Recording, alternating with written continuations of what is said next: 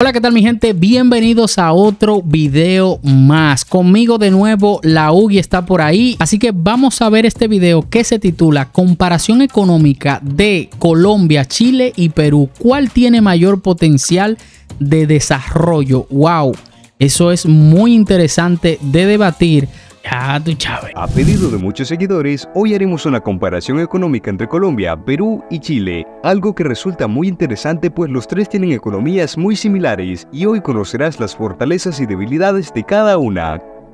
Definitivamente cuando hablamos de economía es inevitable hablar de población, pues esta es la base desde la que se realiza todo análisis, y de estos tres Chile es quien cuenta con menor población, con 19,2 millones de habitantes según las más recientes mediciones, seguido de Perú con 33,1 millones y Colombia con más de 50 millones 500 mil habitantes.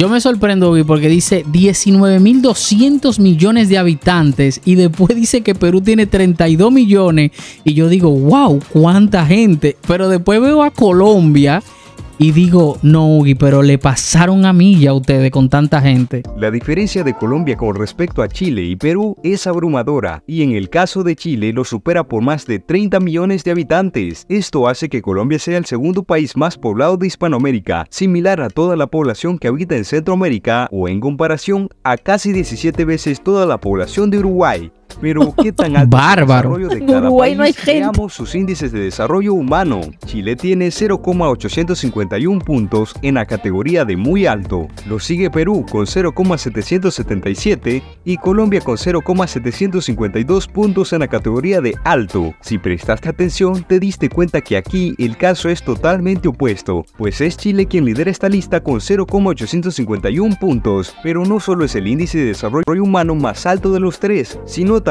el más alto de Latinoamérica. En comparación, el desarrollo de Chile es similar al de Qatar y superior a países como Turquía o la propia Rusia, con un destacado avance en educación y salud, así como en políticas para reducir la desigualdad. Producto Interno Bruto Conozcamos el tamaño de cada economía. Para empezar, me gustaría explicarte qué es el PIB. Significa Producto Interno Bruto, y esta es la suma de todos los bienes y los servicios que se producen en los países durante un año, y se calcula su valor en dólares en el mercado. Teniendo en cuenta esto, debes saber que el PIB puede variar mucho dependiendo de los costos dentro de cada país, pero aún así es uno de los mejores indicadores que existen para medir el tamaño de una economía y su desarrollo.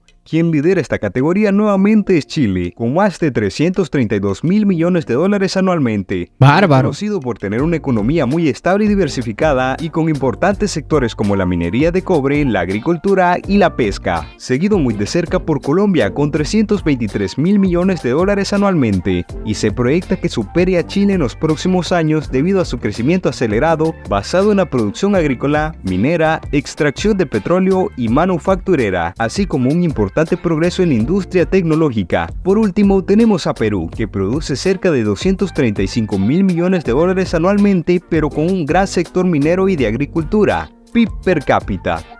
Al analizar el Producto Interno Bruto en proporción a la población, nos damos cuenta que el desarrollo de Chile es mucho más grande de lo que pensamos, produciendo cerca de 17.300 dólares al año por habitante, seguido por Perú con 7.100 dólares por habitante y por último Colombia con 5.880 dólares por habitante. Esto a nivel personal. Óyeme, ¿te, ¿te estás dando cuenta cómo van variando las cosas en cada país? Eh? Lo que pasa es de que tiene que ver mucho la cantidad de gente que hay en un país, pues, ¿no? Claro. Y tú te das cuenta, claro, Colombia produce un montón, pero ¿y cuánta gente hay? Entonces, si sacan el PBI per cápita, te das cuenta que hay un déficit, pues, ¿no? O sea, están por abajo. Si lo mides solamente por, por PBI, claro, vas a decir que sí, pues es un montón, porque es lo que producen al año. Claro. Pero, por ejemplo, bueno, ahorita vamos en una cantidad de minutos del video, ¿no? Pero falta que te digan cuánto tienen ahorros, por ejemplo, ¿no? En fondos. ¿Cuánto tiene de fondos cada país? Porque tu economía puede ser muy buena, pero tú puedes no tener muy buen fondo. Claro. Puedes tener una deuda externa bastante amplia, entonces lo que tú generas lo vas gastando en pagar y no te queda mucho fondo. Creo que podría estar directamente relacionado con el porcentaje de desempleo en cada país, para que tomemos como referencia el desempleo en países europeos como Polonia o República Checa es del 2 al 3%. Con menor tasa de desempleo está Chile con un 8,8% de la población, lo sigue Perú con un 10% y Colombia con un 10,5%. Okay. Hoy es uno de los más altos del continente, aunque ha presentado reducciones con respecto a años anteriores. Veamos el porcentaje de pobreza de cada uno. En Chile, el porcentaje de la población bajo la línea de pobreza es del 10,8%, equivalente a 2.080.000 personas. Este porcentaje ha aumentado en los últimos años, sobre todo si lo comparamos con el año 2017 cuando la cifra rondaba el 7%. Por otro lado, tenemos a Colombia con el 15,2% de su población en condición de pobreza. Esto, en su gran población, representa más de 7.650.000 habitantes, pero es superado por Perú con una tasa del 25,9% de la población, es decir, más de 8.590.000 habitantes. ¿De cuánto es el salario promedio en cada país? Ah, no, eso yo me lo sé. Aquí, Chile lidera nuevamente con un salario mínimo de 574 dólares por mes, pero con un salario promedio cercano a los 840 dólares mensuales. Colombia tiene un salario mínimo de 286 dólares por ley, con un salario promedio que ronda los 520 dólares al mes. Por último tenemos a Perú con un salario mínimo oficial de 1.025 soles o 281 dólares y con un salario promedio de 457 dólares mensuales. Pero, ¿qué tan endeudados están estos países? Lo que yo te dije. su deuda externa. ¿Viste lo que yo te dije? Todo es perfecto y maravilloso, pero ponte a ver cuánto es su deuda externa. sí, sí, sí, sí, tanto, claro. ¿Qué tanto te rinde lo que produce en el año? ¿Y qué tanto tienen de fondos? Porque al final ya pues tú puedes producir un millón de dólares semanal, pues, ¿no?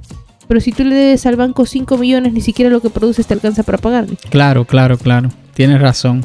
En primer lugar tenemos a Colombia, que tiene una deuda externa cercana a los 187 mil millones de dólares, lo equivalente al 55% de su PIB. Luego está Chile, que acumula una deuda externa de más de 130 mil 240 millones de dólares, equivalentes al 37% de su PIB. Perú es quien menor deuda externa mantiene de los tres, no solo en cantidad, sino también en porcentaje. Eso fue exactamente lo que tú dijiste al principio. Porcentaje con respecto al tamaño de su economía, con unos 77 mil millones de dólares equivalentes al 32,8% de lo que produce cada año. Son cifras muy altas, pero que aún así los tres están muy por debajo de otros países de la región.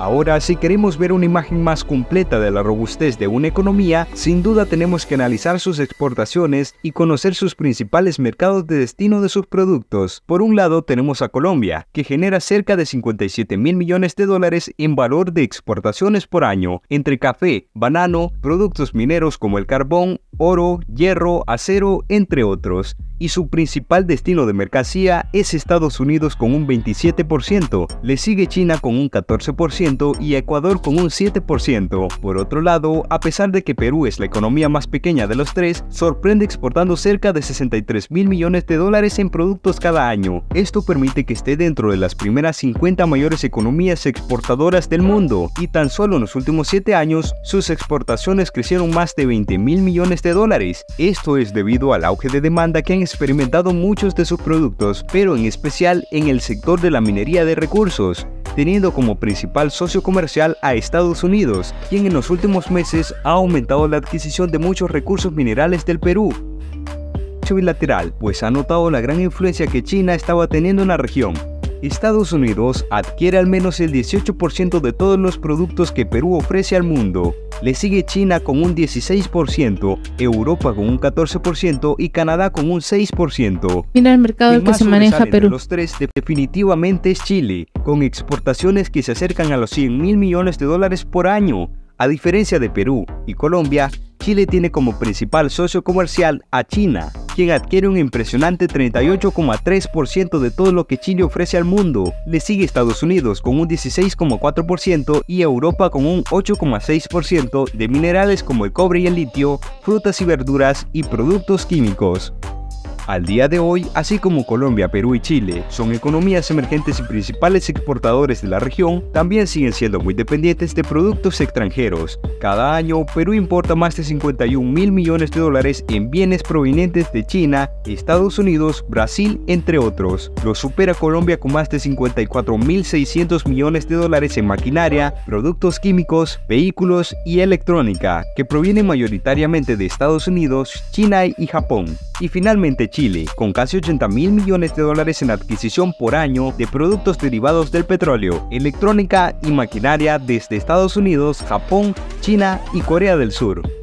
¿Cuál de estas economías te parece que puede llegar a tener un mayor potencial de crecimiento a futuro? Gracias por dejar tu comentario. ¿Qué otras comparaciones te gustarían ver? Te invito a apoyar. Escúchate la pregunta que él dijo al final, pero, pero, pero, ¿por qué no leemos varios comentarios para ver qué piensa la gente sobre esto primero? ¿Ves? No, pero antes de leer los comentarios, ahí yo pienso que al video le faltó poner cuánto tiene cada país de fondo, o sea, cuánto tiene eh, ahorrado cada país.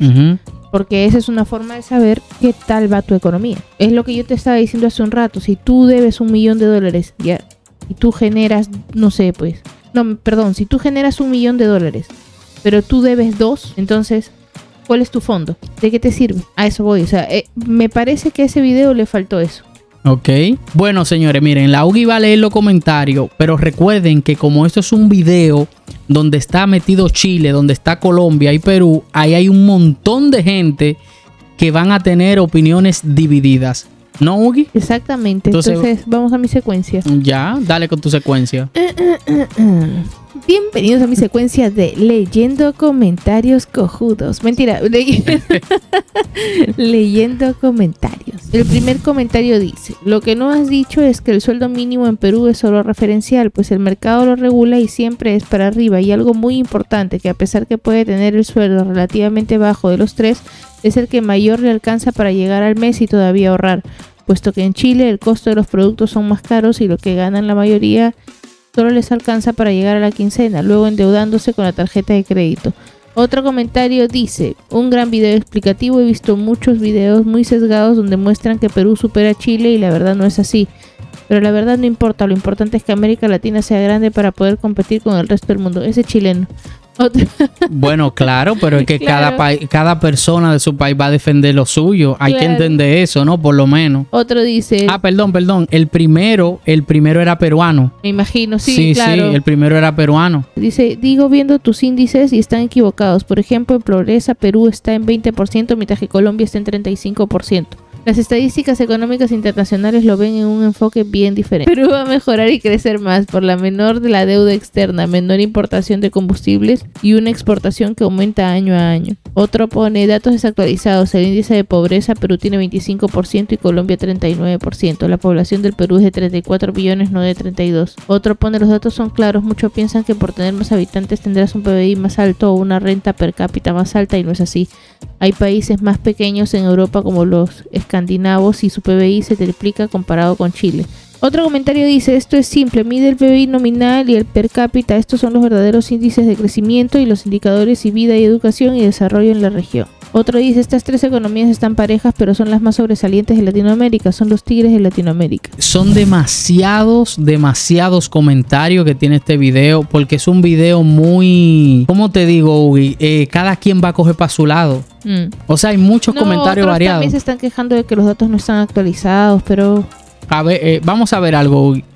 Vamos a ver algo, Ugi. Este video es de hoy. Este video lo subieron hoy. O sea que el brother entonces cogió datos que no son correctos. Puede ser, sí, porque en realidad él puso que ahí hay 32 millones de, de habitantes en Perú. O sea, eso fue lo que puso en texto. Ujú. Él dijo 33, pero según lo que han puesto en uno de los comentarios, hace una semana dijeron que en Perú habíamos más de 34 millones de habitantes. La UGI y yo no queremos entrar en detalles así como que muy profundo con esto.